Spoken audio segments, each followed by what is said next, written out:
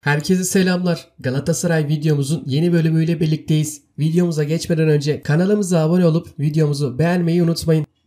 Rakipler de belli oluyor artık. 3 muhtemel rakibi Celtic, PSV ve Sparta Prag olacak. UEFA Avrupa Ligi'ni Villarreal'in kazanması sonrasında Galatasaray'ın Devler Ligi'ne ikinci turdan başlaması netleşirken muhtemel rakipler de kesinleşti. Aslan 16 Haziran'daki kura çekiminde İskoçya'dan Celtic, Hollanda'dan PSV ya da Çekya'dan Sparta Prag üçlüsünden biriyle eşleşecek.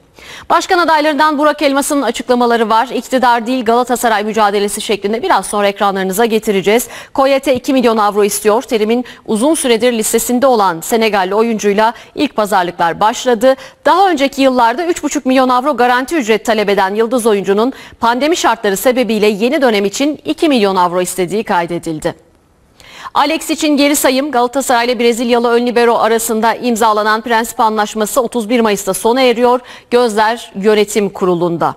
İşte bu çok kötü oldu. Sıkıntılı günler geçiren Galatasaray bir darbe daha yedi. Villarreal Avrupa Ligi'nde zafere ulaştı ve Sarı Kırmızıların artık Şampiyonlar Ligi'ne katılmak için 3 tur geçmesi gerekecek. Seçim nedeniyle önünü göremeyen Aslan'ın hazırlık kampı süresi de kısaldı. Muhammed yok. Şampiyonlar Ligi'ne katılmak için 3 ön eleme oynayacak olan Sarı Kırmızılılara bir kötü haber de Mısır'dan geldi. Tokyo Olimpiyatlarında mücadele edecek olan Mısır Olimpik takımına seçilen Mustafa Muhammed Galatasaray'ın 20-21 Temmuz'da oynayacağı ilk maçta forma giyemeyecek. Ayrıca Radamel Falcao'nun durumu da belirsiz olarak ifade edilmiş ve bu kadro paniği başlığı altında aktarılmış Fotomaç gazetesinde.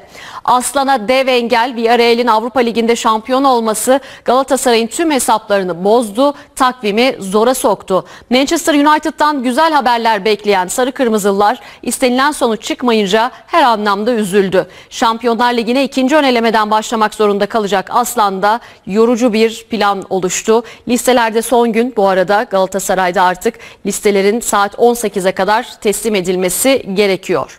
Eyvah Mustafa Muhammed yok. Hemen altında da UEFA kadrosu paniği başlığıyla yine Sabah gazetesinde de bu noktaya vurgu yapılmış. Aslan'da işler karıştı. UEFA Avrupa Ligi'ni Villarreal'in kazanmasıyla Galatasaray sezonu daha erken açacak. Bir eleme daha fazla oynayacak. Üstelik 22 gün sonra seçim var. Hocası da kadrosu da belli değil. Hocasız top başı yapacağı ifade ediyor, ediliyor. Sarı Kırmızıların gerçekten önümüzdeki süreçte dört büyükler açısından değerlendirecek olursak en sıkıntılı süreç sarı kırmızılılarda gibi görünüyor. Hem mevcut başkan devam edecek mi etmeyecek mi o belli değil. Hem bir aday enflasyonu var. Fazlaca aday girecek seçime. Diğer taraftan baktığınızda Fatih Terim'le devam edilecek mi edilmeyecek mi o belli değil. Sözleşmesi biten, kiralık sözleşmesi biten oyuncular var. Bunlardan hangileriyle yola devam edilecek? Nasıl bir teklifte bulunulacak? Ya da yeni transferleri kim yapacak? Kimin listesi doğrultusunda yapılacak? Dolayısıyla bunların hepsi büyük bir muamma. Dün de bahsetmiştik. Galatasaray'ın hiç vakti yok. 20 21 Temmuz'da ilk karşılaşmasına çıkacak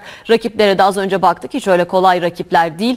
Dolayısıyla sarı kırmızıları zor bir süreç bekliyor. Başkan adaylarından Burak Elmas'ı açıklamalarda bulundu. Hemen onu ekranlarınıza getirelim. Galatasaray'da bir başkanlık seçimi ve sonrasında da bir planlama söz konusu ama bunların olabilecek en kısa sürede gerçekleşmesi gerekiyor. Çünkü e, bir hazırlık e, takımın hazırlık yapması gerek, takviyelerin olması gerek. Şampiyonlar Ligi söz konusu çok kritik bir dönemde Galatasaray'da baktığımızda. Yani bu Avrupa Şampiyonası sürecinde en azından e, biraz vakit var. Yani Avrupa Şampiyonası sürecinde zaten transfer konusunda çok fazla e, kımıldayamıyor takımlar.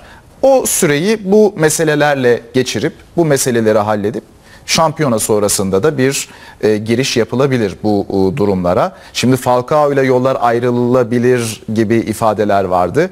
Çok net hatırlıyorum Falcao gelmeden önce Falcao ismi gündeme geldiği an herkes ama herkes iş yerinde, sokakta, markette tanışık olduğumuz herkes abi ya Falcao geliyor mu? Öyle olay yaratmıştı. Hatta ama, gerçek olamayacak kadar mutluluk evet, verdi değil mi? Evet. E, fakat e, o gürültünün karşılığı e, alındı mı? Sakatlıklarla yani, sonuçlandı maalesef, aslında. Maalesef. Var olduğu sürece elinden geleni yaptı, katkı sağladı ama e, sanırım oynamadığı maç sayısı oynadığından fazla. Orada da sakatlıklar evet. var. Yani aslında Gezal'la veya Abu Bakar'la ilgili konuştuğumuz konu belki Falcao çok yüksek katkı da verebilecekti. Ama işte bilemiyorsunuz bir sakatlık ardından bir başka sakatlık, ardından bir başka sakatlık derken zaten şu da e, uzmanlar şunu da söylüyorlar hep biliyorsun. E, bir sakatlık aynı zamanda beraberinde başka bir sakatlığı da getirebiliyor.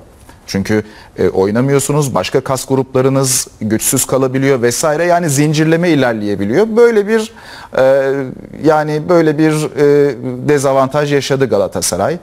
E, Cagne'de de aslında biraz sakatlık değil ama benzer pro beklentiyi karşılamama durumları gerçekleşti. Tabii ki maliyeti yüksek oyuncular olduğu için e, çok fazla da e, eleştiri de alabiliyorsunuz. E, çünkü bir yandan bütçeyi idare etmek durumunda Galatasaray Spor Kulübü de. E, tabii yolların ayrılması. Cagne de aslında iyi bir sezon geçirdi. Bilmiyorum sonrasında devam edecek mi etmeyecek mi. E, Feguli Belhanda'dan sonra şimdi de Feguli ile de yollar ayrılacak mı onu da gerçekten merakla bekliyorum. Evet. Aslında Galatasaray'ın e, az kadrosundaydı ikisi de ama şimdi onlar da Fatih Terim'in de dediği gibi yeni bir jenerasyon arayışında Galatasaray Spor Evet, Kulübü. e, Özellikle yerli ve genç isimlere de yöneldiler. Sayın Cengiz yönetimi gelmeden evvel Dursun Özbey'in e, ekibinin yönetiminin kurmuş olduğu bir kadro vardı e, sezon başında. E, hatta e, o kadroda e, e, Sabek e, o dönemde e, yine çok büyük katkı vermişti Galatasaray'a. E, e, arkadaşlarımız hatırlatabilirse şayet e, e, kurulan bir kadro o oradaki iskelet aslında senin söylemiş olduğun o iskelet e, Mariano Mariano'nun falan geldiği e, o iskelet yavaş yavaş artık e, değişiyor gibi. Evet değişiyor. Fatih Terim de bunun altını çiziyor zaten ki son anda mesela Halil'in, Kerem'in yine aynı şekilde milli takıma davet edilmesi Tabii bunlar e, bizim için çok önemli gelişmeler. Taylan'ın davet edilmesi. Şimdi biz çünkü takımlara baktığımız zaman bizim için önemli olan yerli isimlerden kimler çıkacak? Galatasaray'dan kim çıkacak? Genç isimlere e, hangi takımlar yer veriyor? Kimleri kazanabiliriz? Kimleri sonrasında yurt dışına gönderebiliriz diye bir yandan bizim için önemli olan o. Evet. Biz o gözle de bakıyoruz. Evet. Dolayısıyla Taylan, Halil, Kerem e, bizim kazançlarımız oldu. Aslında örneğin Cagney'in attığı gol sayısını Halil gibi, Kerem Aktürkoğlu gibi isimler o gol sayısına ulaşmış olsa bu isimler göklere çıkartılabilirdi. Ama beklenti siz 10 milyon civarında bir para verip bir oyuncu alıyorsanız o oyuncu ne yapsa da artık e, yeterli olamıyor gibi görünüyor. O nedenle biraz bu tip isimlere mi yönelmek lazım? Ee, yani elinizdeki oyuncunun e, e, oyuncudan en yüksek verimi almak olmalı bizim hedefimiz galiba. E, şunu hatırlıyorum Vedat Muriç Gençler Birliği'nde oynarken 19 Mayıs stadyumunda maçları izlediğimde zaman zaman yedek kalıyordu. Devre arasında oyundan çıkıyordu veya ikinci devre oyuna giriyordu. Şimdi o Yıllık net 5 milyon avro kazanan 35 yaşındaki oyuncu için Amerika Ligi takımlarından teklif beklendiği gelen haberler arasında.